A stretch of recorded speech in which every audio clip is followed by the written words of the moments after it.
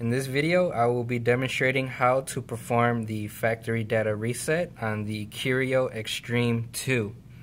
Warning, a factory reset will erase all the content of the internal memory of your tablet, including all apps, games, and files you save in this internal memory.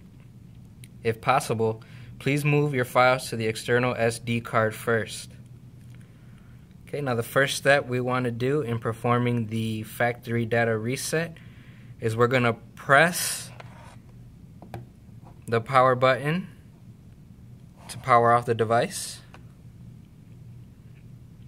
Once the device is completely off, the next step we're going to do is press the power button and the volume up button at the same time until we see the screen with the Android robot and that would be our recovery screen. So as the tablet is powering off, we do want to continue to hold both buttons.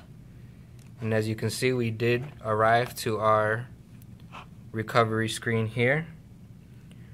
But we don't see any menu options once we get to our screen. So what we'll need to do is we need to press the power button for two seconds, hold the volume up button for about three seconds simultaneously,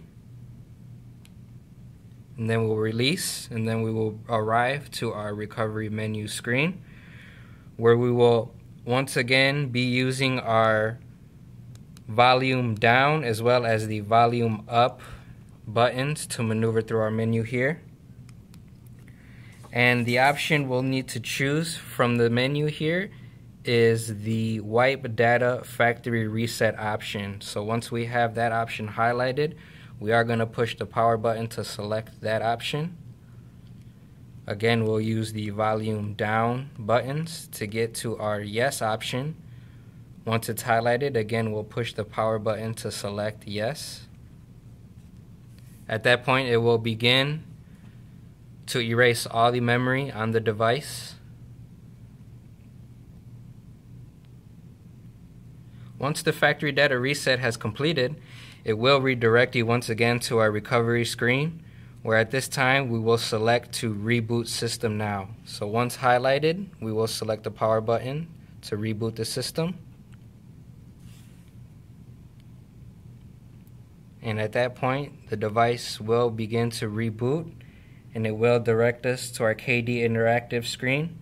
Now please note that after the factory data reset, the unit will boot to the smiley face screen as well and it may take about three to five minutes to fully load. Once it fully loads back up, we will be able to set up the device as it you just purchased it from the store.